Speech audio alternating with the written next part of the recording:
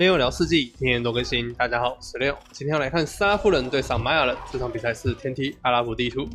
好，我们先来讲蓝色方是选择了斯拉夫人。那斯拉夫人哦，现在的这个农田哦，一样是十 percent 的采集效率哦。那我觉得斯拉夫人的效率来说，算是偏快的。那斯拉夫人呢？除此之外，还有这个强大的步兵能力啊，这个王者侍从，还有这个贵族贵铁啊，贵族铁骑啊，好都非常好用。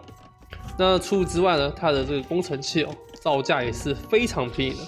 所以后期都会主打一个步兵为辅，工程器为主，然后然后它的贵族铁骑也是为辅的一个走向。那斯拉夫人的话，打法比较能抓到的。原因哦，所以他的胜率并不是非常亮眼但是在某些团战时刻或是一些文明针对的时候，他又显得特别强势哦，尤其是这个贵族特权的时候，遇到扑兰的时候，真的是把扑兰按在地上打啊！这个贵族特权骑士哦，不是贵族特权，贵族铁骑这个单位哦，就很康特扑兰了哦，所以这个斯拉夫人哦，算是蛮看对手的文明来会决定他的胜率的。好，那我们再来讲这个玛雅。玛雅人的话，他的最主要的能力哦，是这个工兵有很大的减免哦，啊，不这个弩兵啊，哦都不错。那再来就是他的这个毛兵哦，有这个散弹战矛的一个使用方法，它的战矛会变成两发，那第二发的伤害只有一滴血哦，但是听说。如果打到这个对方是工兵或者是工兵系的护甲的话，一样会额外伤害哦。我不知道是真假的。那我只知道第二发通常都是一滴血伤害哦。那由于这个能力的效果，让他打这个战冲车啊，或是高远防的这个单位来说的时候，他的战矛兵哦，还是有一个不错的伤害效果的。好，接下来稍微讲一下玛雅人的黄金果能力啊。黄金国能力哦，可以让玛雅人的鹰刺吼啊，鹰勇士们让它变成一百滴血的血量，非常的硬哦。呃，我之前我有问过天空熊，到底是这个玛雅的老鹰黄金国比较厉害，还是这个龙冠战争阿兹特克的老鹰比较厉害？好，八加九的攻击力老鹰。那最后的结果，我们是认为哦，哦血量比较多的那方比较容易赢哦。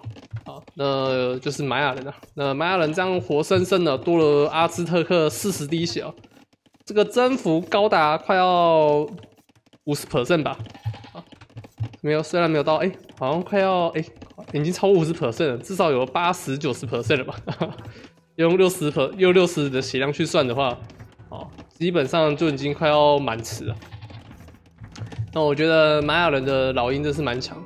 而且他的弓箭手也不差，那封建时代打法也是偏多哦，也可以打老鹰加上鹰，呃，老鹰加上工兵的一个组合，甚至毛兵都可以，而且打的压力也没那么大。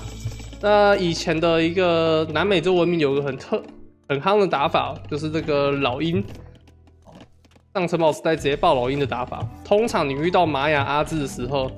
我们 H D 时代的时候，就会下意识干对方，一定就是要老鹰爆了。那时候还没有决定版，大概三四年前的时候，一看到玛雅或是阿兹，干他一定是老鹰，一定要是老鹰爆，每一场都这么觉得的。我那时候就想到我去，而且那时候老鹰真的很难打。啊，你盖个修道院伺候，我靠，这边跑过来直接打羊是什么画面？哎，这个怪怪的，这个斯拉夫人还想要干羊干走，跟我扣零。还想过来砍，这个太搞了吧！哇，这边砍死一只羊就算了，还想要干走三只羊，这个太过分了哦！这个斯拉夫人。好，我们继续讲。呃，玛雅这个直城老鹰豹非常强大，原因是因为老鹰的肉量成本哦，并不需要那么高的哦，只要二十肉就可以，再加上五十黄金就可以造出一只老鹰。那由于食物这个。资源哦，在城堡时代的时候初期哦，并不是那么容易拿到这么大量的，反倒是黄金是很容易的，因为还有这个挖掘的掘金技术，可以让它高速挖黄金哦。那就代表说，你只要大概撒个一一一圈田哦，你就会维持你的 TC 的运重，加上这个双军营甚至三军营的这个老鹰的啊肉量的支持哦。那其他的大部分村民哦，就全部去挖黄金就够了。那通常哦，你只要点这个一级掘金之后，然后再加上一片田，你的三军营或者两军营哦，就可以疯狂爆老鹰哦，压到对手怀疑人生，就是哇靠，你怎么单位？对方出骑士，还有可能会被你的老鹰给淹死哦。这个就是玛雅人的跟阿兹特克人哦，这个早期的很很康的打法。那现在比较少人会这样打，我不知道不太知道是什么原因哦。但现在这个打法我记得还是蛮强的，还是现在大家比较会挡了，就没那么好用了。我不太清楚啊，我记得以前是蛮常看到，但是在这种高端场来说，并没有那么常看到了。好，那玛雅这边很顺利到了封建时代，那这边选择是工兵开局。那沙夫人哦，很理所当然的是打了一个斥候开啊，斥候开，然后按了蛮多了。看到了四只斥候，然后这边这边有送掉一只肉马，所以这只斥候也是多按出来。哦，这边围的不错，还可以再捅到一枪吗？这两滴血的村民看来是捅不掉了，这只老鹰应该是要被解掉了。这边没有办法打出一个洞口来拯救这只刺候。好，但这边要硬打了，我觉得这边他可能会直接想要收掉。好。收掉之后，赶快去追这两只工兵，绝对不能让他们跑掉。那沙夫人哦，这个实习就很强，他现在有农田这个十 percent 的采集效率哦，所以他在封建时代的时候，农田的肉量是蛮夸张的，甚至我是觉得比波兰还要强。波兰这个立即给十八 percent，虽然也很多，但是他没有像斯拉夫当时一直持续下去。那短期之间哦，我觉得是斯拉夫会比较好。那比较长久下来，我觉得是波兰是比较多一点的，因为波兰斯会因为它这个农田技术，然后去增加它的肉量，但斯拉夫人永远就是十 percent 而已，所以早期来说，斯拉夫人的肉量会比波兰上好上一些些的。你看这个肉量很明显很夸张哦，当然也是它比较多片田的关系哦，所以这个肉量比较多一点。但这个有有有引的有点太多了，三百多肉，而且他这边按了很多肉嘛。呃，工兵国本来就是肉会比较少一点是正常，的但这个斯拉夫人的肉量真的是太夸张。好，四只斥候直接出去，还要再继续前压吗？那没意外的话，应该会这边哦存多一点的黄金哦，直接上到城堡时代。那有可能会下一个射箭场，稍微挡一下。啊，对方的毛兵加长枪兵的一个前压，基本上对手这样打，因为由于他不是双射箭场的关系，所以兵量不会太夸张，也不会拖到这个上城堡时代的时间哦，稍微只会稍微拖慢一点点哦，但不会太严重。通常点城堡之后按下按下一个射箭场来说会比较安心一点，避免突然对手来一个封建大爆按这个工兵哦，然后突然把你打个措手不及啊。我个人还是会比较倾向于啊，点下城堡时代之后补一个射箭场，哦压压金，哦当然也可以选择不下，然后赶快专心去继续撒田啊，或者是挖金矿，然后再下一个马厩，双马厩直接爆骑士哦，然后直接上这个四级兵工厂或者石墙，直接把这个木墙给围死了，让对方工兵哦没有这个机会可以攻进来就可以了。但只要一上到城堡时代，啊骑士一出来哦，基本上你还是可以靠骑士解掉这些单位的。好，这两只工兵有机会打到，那这三只刺猴应该也做不到任何事情了，比较困难一点有有点偏残血，而且对方还有暗藏枪兵。好，那现在所有的单位都在这边聚集，那这四只村民应该是会直接拉走了，果然不下第二个马厩了。OK。这边应该是抓不到了，因为都残血的刺猴其实蛮好解，但是要硬抓还是可以。哇，结果长枪兵来不及救，哇，这边还换到一村，拉夫人这边有点赚哦。玛雅这边那个长枪兵有点为时已晚哦。好，呃，这边直接开叉这个木门，但城堡时代还有二十秒，依照正常打法来说，应该会来这边堵下口，但这边并没有堵口，可能是认为哦自己上城堡时间已经快要到了。我只要一上城就可以逼退对手。那其实玛雅人这边其实不撤退也可以哦，直接继续前压，给对手更大的压力哦。反正门都快破了，好，现在撤退来说是来得及的。哦，要前压也是可以哦，就是二选一嘛。你要前压的话，就是要趁骑士出来之前。好，那这边是决定要前压了。但这边其实斯拉夫人的建筑学哦盖的还不错，稍微把这个口给堵住了，让没让他没法这么轻易的绕到后方去做骚扰。好，骑士一出来直接开追，应该也没什么太大问题。那待会刺头要不要回来打也是个问题哦。那我觉得认为是不需要的。那个轻骑兵哦，继续在后方绕，看对方有没有藏建筑物啊，或是开农之类的哦，多获取一点资讯哦是比较好的。好，骑士上来先行把对手一支长兵先戳掉。好，但回头继续砍长枪兵，可能自己也会被收光，因为只剩下骑士而已，打的有点头破血流。好，这边轮番上阵，再来第二波骑士开打。那这边玛雅马上补下自己的长枪兵升级啊，还有这个护卫技术。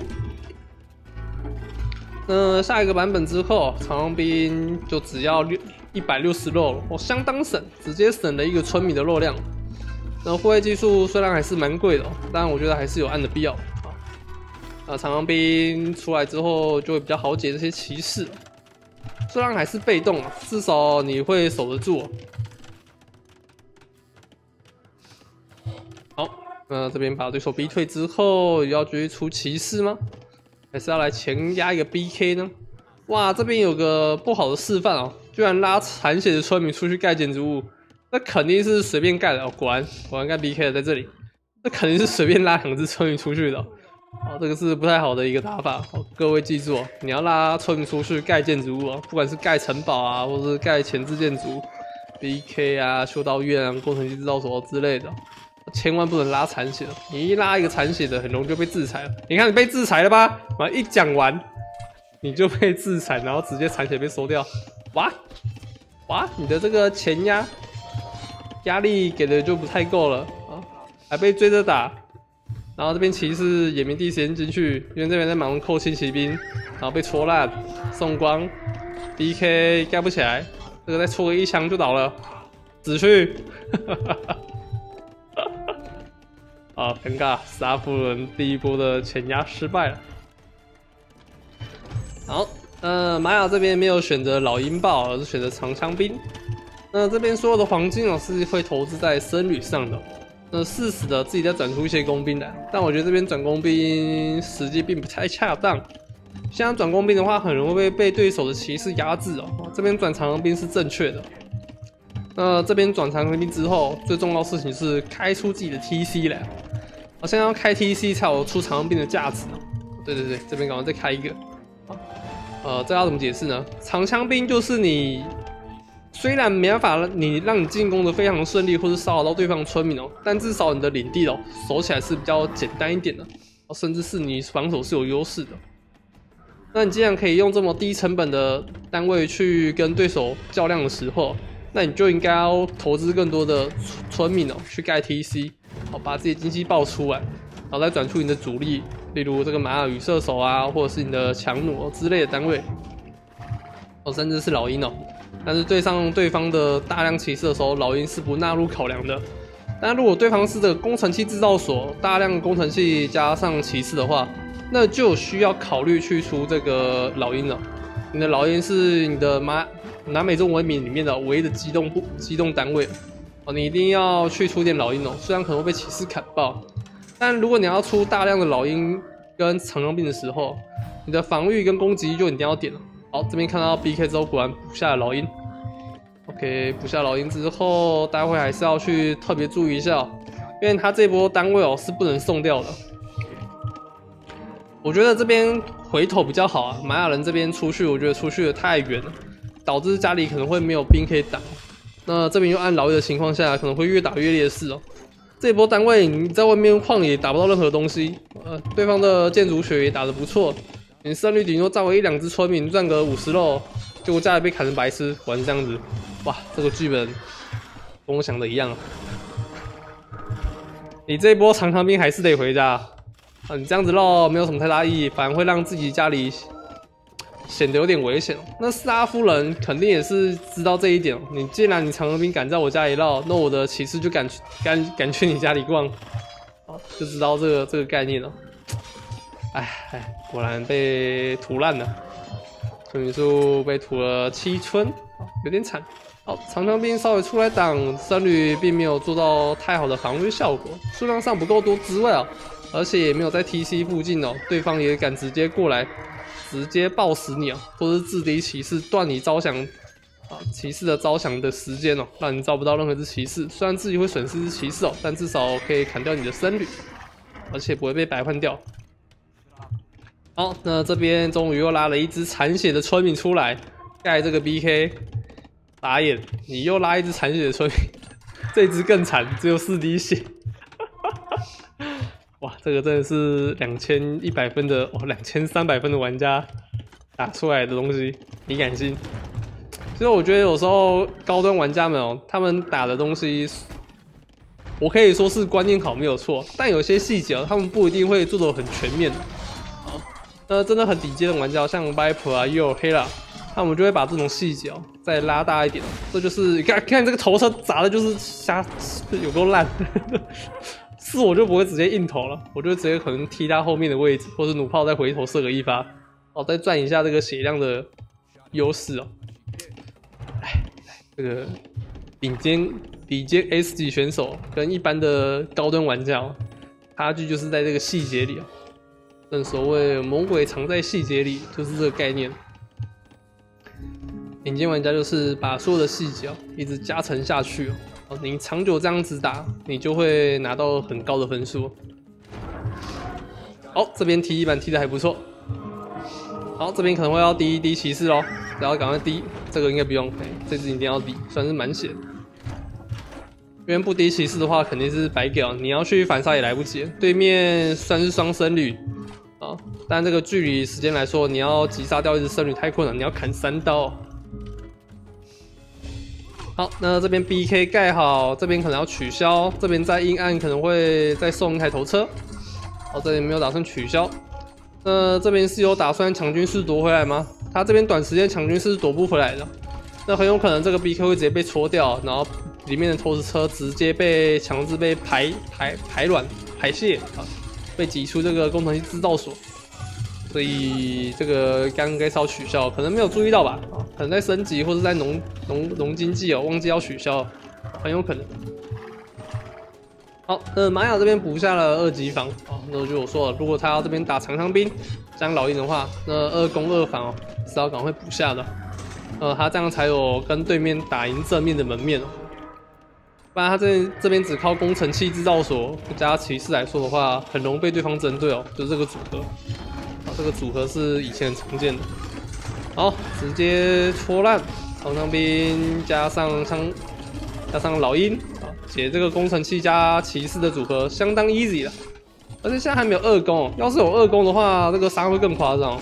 因为南美洲文明最强大的地方就是它前期的数量很容易续血，啊，你有二攻的话，解对方的骑士哦或者是步兵单位都蛮简单的。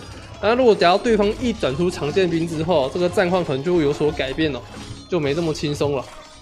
那老鹰飞进来第一波的事情，就是要赶快保护好自己的村民哦，尽可能的把数量保留起来。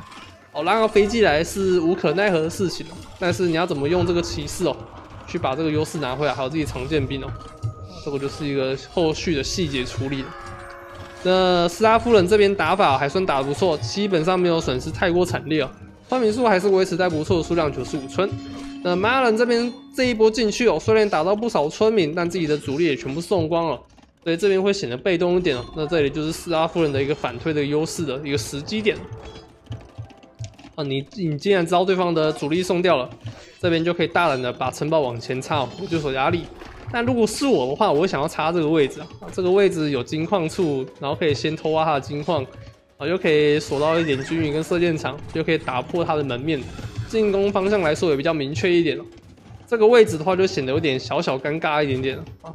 但我觉得以他们高端的选择，绝对是不会错的，所以我就不不不质疑太多啊。我我个人是直觉的，这也是比较好的。好，长枪兵这边直接砍个一波啊，长枪兵有没有直接屌虐啊？不然这个长枪长剑兵直接砍爆老鹰加长剑兵组合，一定是可以的。有人说，哎，那这时候怎么办呢？啊，那玛雅很简单嘛，你直接转强弩或是羽射手都可以的，或是直接插城堡嘛，对不对？插城堡转羽射手，你打对方骑士也可以稍微走 A 一下。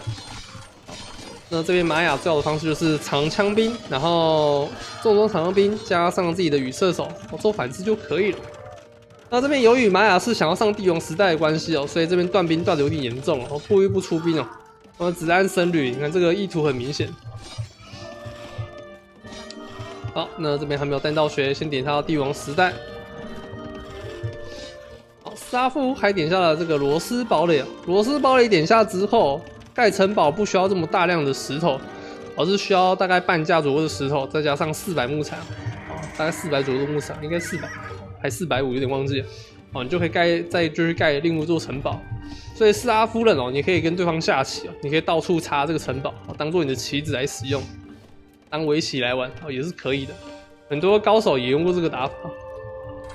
好，那这边老鹰打一个后面偷偷拆幕墙的一个侵入方式还不错。好，这边可以偷到一些挖好的挖黄金的村民，还不错。哦，这边应该可以抓得到，直接开庄。要不要抓我的老鹰呢？我的老鹰很大，嗯，是。好，那这边城堡前线，哎，跟我想的位置差不多，对啊，这个位置就不错。但他这边怎么不是盖高地啊？他这里有点贪心啊，他想要覆盖这个军营跟射箭场的出兵范围。如果是我的话，我会再盖盖后面一点，尽可能让自己城堡在高地处，才不会被太容易哦被军营投石机给轻易给砸掉。好，那两边都上到了帝王时代，玛雅这边有上时代的优势。那果然第一时间出了这个玛雅与射手，羽毛箭射手的话，它的优点是攻击力虽然没有像弩兵那么高，跟弩兵少了一点伤害，但它远防来说是比较高一点点的。那射程也比较短一点点，但射速来说，我记得好像是比强弩还要再快一点点吧，射速会稍微快一点点。那它跑速来说的话也很快的，可以直接把它想象是。呃，马弓单位来使用就可以了，并不要把它想成是步弓。呃，斯拉夫的贵族铁骑啊，远防来说是比较正常，跟一般骑士来说差不多。那精锐来说会再更上一层楼一点点。好，这边招降一波，给这边赶快招，全部先招同一只，然后再分散，可以直接被对手低掉两只。好，那玛雅这边经济还不是很好，但斯拉夫已经开始开启他的围棋之路，到处盖城堡，然后开始抢贵族铁贵族铁骑。哦，这就是我说的这个围棋对弈模式了。哦，我们之前的影片哦，里面有这个标题哦，就是围棋对弈模式，就是在讲斯拉夫人，他这一刀实在是太强，这个很像这个法兰克的城堡一样造价。那为什么是斯拉夫人特别常用这一招呢？这个我也不太清楚，其实法兰克人也可以啊，但法兰克人就很少。哈哈，第具体原因我不知道，但通常会这样打的都只有斯拉夫人。但其实法兰克人要要这样打也是可以的。那我我自己的猜想应该是城堡可以直接产骑兵单位比较方便啊，但法兰克的城堡只能产那个子府兵哦，机动性来说或威慑力来说可能没有这么的有压力吧。我个人的感想是这样子啊。像我觉得大同小异，在后面补一个马厩也是差不多的事情。好，法兰克其实也可以这样打。好，那这边巨型投石机开始拆了，上面这个城堡可能没办法守下了。但是征兵技术在这边研发就是一个不好示范哦。要研发也是这个研发，这个研发就不太好。那这个研发可能是来不及。四八五滴血，正五十滴，再一发解掉，征兵技术没了。好，那玛雅这边要怎么 counter 对方的贵族铁骑呢？最好的方式哦，也上帝王时代，赶快点下大骑兵哦。那僧侣的部分哦，按个少量的几只就好。我觉得僧侣的数量现在不是重点哦，因为你的手速可能终究拼不过对方残贵族铁骑的数量，除非你是什么 fake 手速世界冠军等级的，那就另当别论了。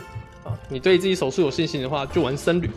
那像我一样对手速没有信心的玩家怎么办呢？那就是出大骑兵嘛。